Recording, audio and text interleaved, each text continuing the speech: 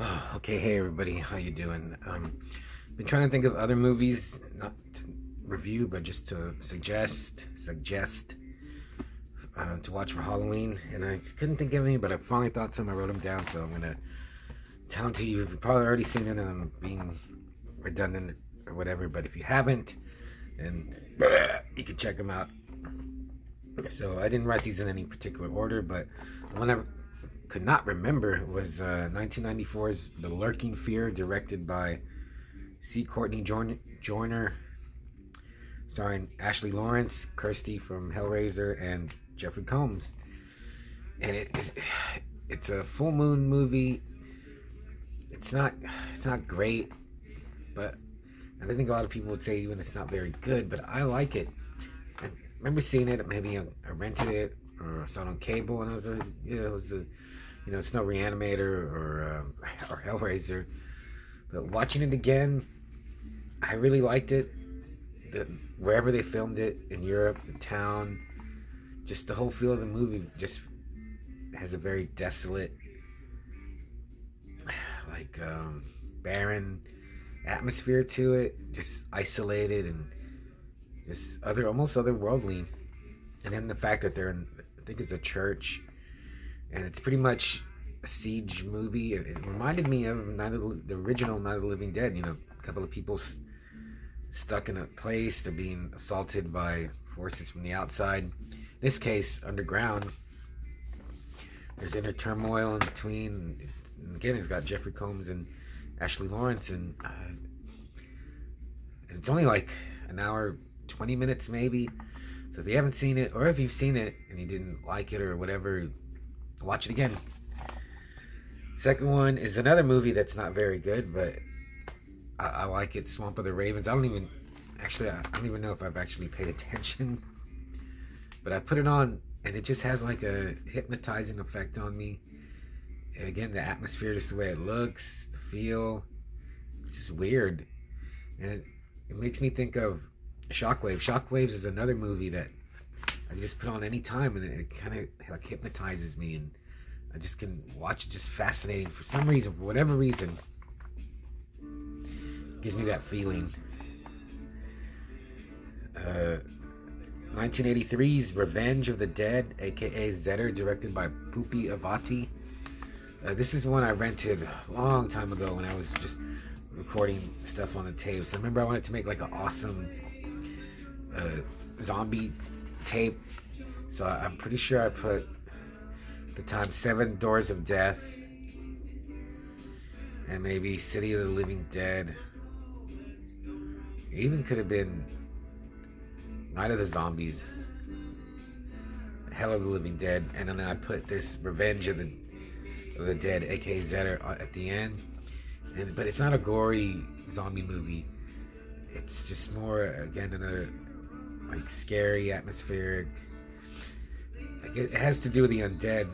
Like this guy, he buys a typewriter and it has the ink cartridge still in there, and you can like pull it out. He goes to the trouble of reading it, and it's like a story about this place where you can bury a, a corpse and it'll come back to life.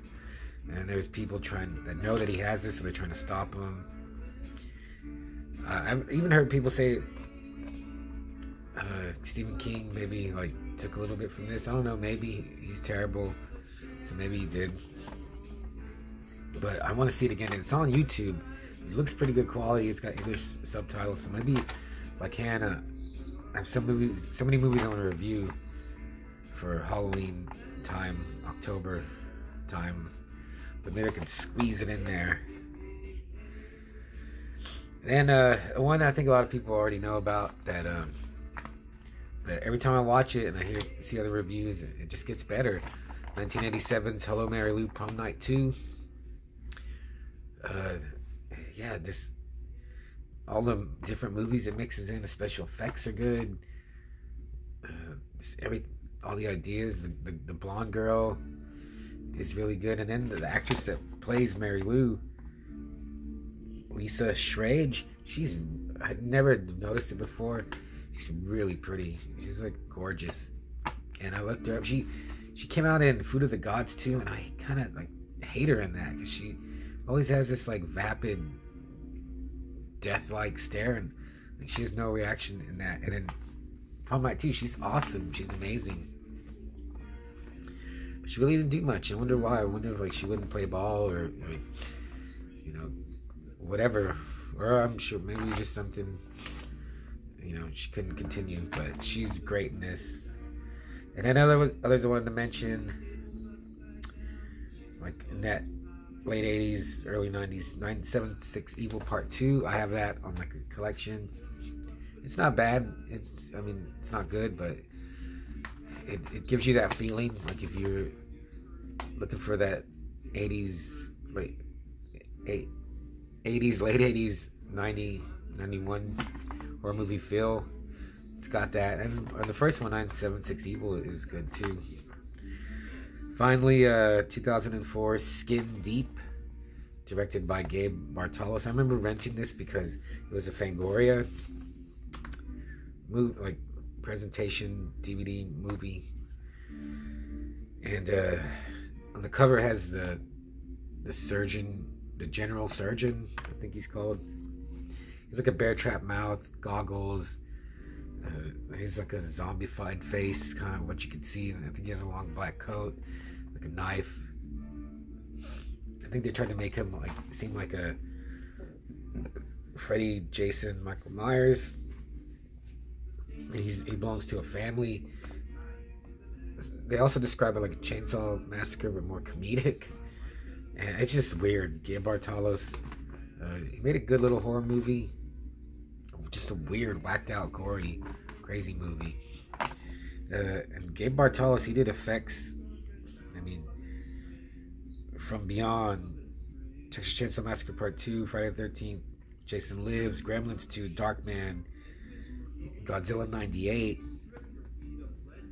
And he even did uh, effects on that new movie, Army of the Dead. But at least, you know, he got a good payday, I hope. Those are just some movies, but um, I also ordered some movies today. I ordered um,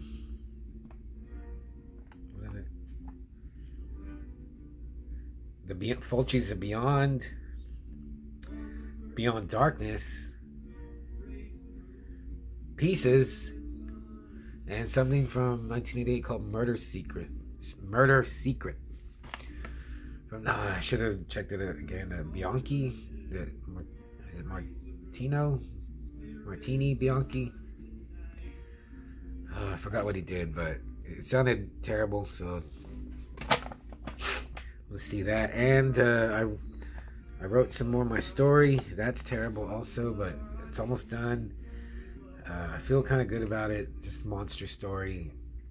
I wrote about 10 pages. I don't know, maybe another two, three, probably two pages would be done. If you want to read it, let me know. I need, I'll need to type it out and put it in, or just like slap the pages together, or maybe I could email it, I guess.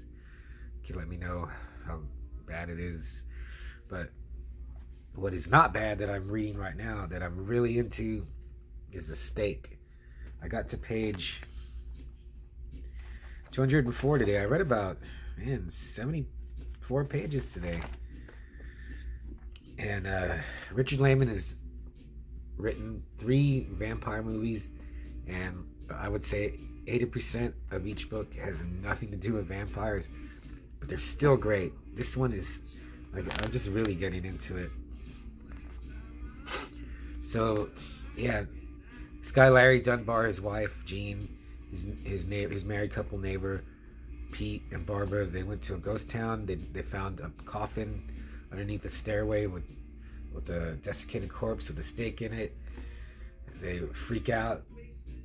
They leave, and then uh, Pete tells Larry, Larry's a writer. He's like, dude, you can write a book about it. He's like, let's go get it.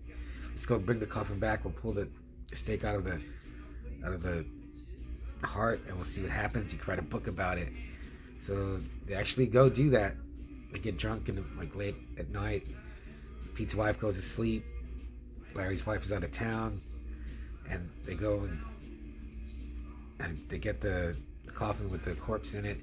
But just them going there, getting everything that happens, like there's no, so far there's no gore or craziness, but and Laymon can set a mood and like just he's always like what's out there like because they're traipsing around through the dark and the, it's pretty much like a desert they got to go down this hill because they go into the like the first they had seen a, a jukebox while they were there and Pete's like, "We'll get go get the jukebox," and because he was gonna write a book about the like the possessed jukebox, and he's uh, you know, we'll bring it, I'll fix it because he's like a fix it man.